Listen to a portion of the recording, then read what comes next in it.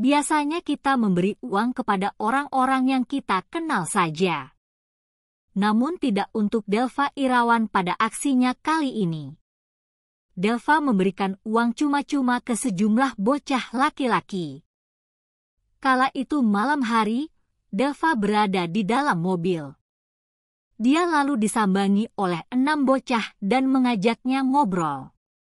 Tak lama kemudian, Delva lalu mengeluarkan dompetnya. Dia membagikan uang pecahan lima ribuan ke anak-anak itu.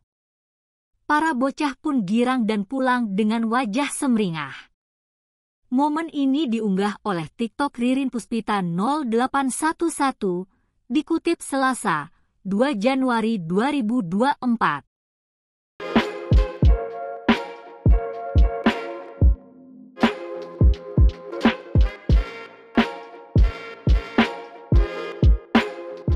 Download Tribun X sekarang.